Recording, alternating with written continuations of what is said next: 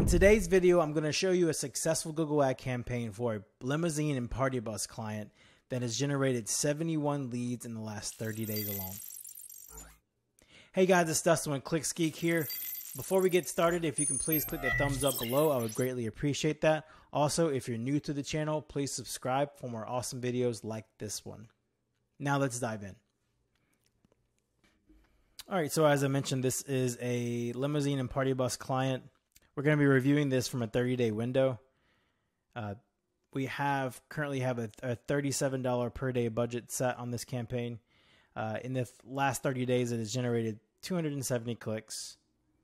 It has a conversion rate of 26.3%, uh, which is really, really good.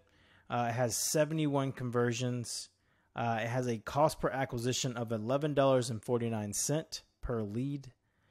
Uh, and a total cost for the 30 days is $815.75.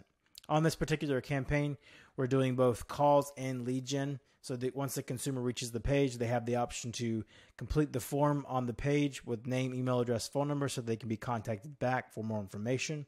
And then also, they have the option to call the number that's on the page from a landline phone, um, or they can touch the call from a mobile device that they're most likely on already.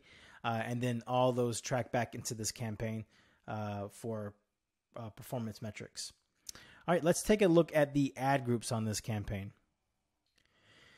Okay, so here are the ad groups. Uh, as you'll see, the top ones that we're getting the majority of the leads from are party bus, limo, keywords, which is just basically just limo uh, keywords only.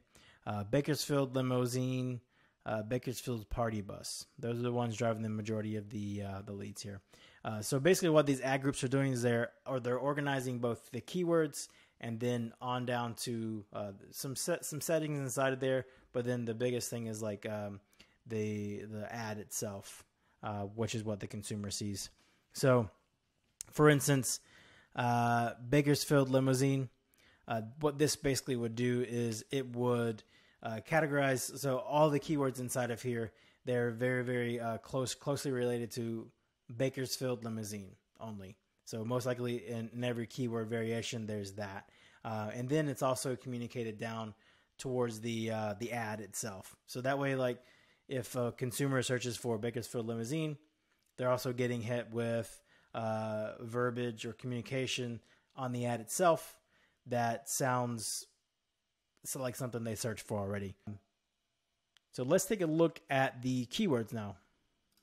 So here are the keywords we're using: limo, limo rentals, party bus, uh, party bus rental, limo rental, party bus rental, limousine service, limo in Bakersfield, party bus rentals, party bus Bakersfield, uh, and you kind of get the idea here. You can see what's uh, actually driving the majority of the conversions here or those top ones like that.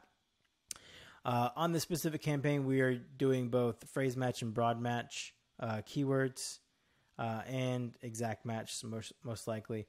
So um, we don't typically always do broad match, but whenever we need to get a little bit more of a reach, we do that. Um, and then phrase match, what phrase match means is that the consumer actually has to search for um, whatever is inside of these these little um, quotations. So limo rentals has to be inside somewhere of what the consumer actually searched for. So one thing I wanted to mention here on this campaign is that we are using a target CPA of $18 on this campaign. So that means that basically just allows us to to bid efficiently so that uh, the leads come in at a cost of less than $18. So if you're interested in having our team build a campaign like this one for your business, please reach out to us by using the application link down in the description. That's all that I have for today. I hope you have a great day and enjoyed this video. We'll see you soon. Bye bye.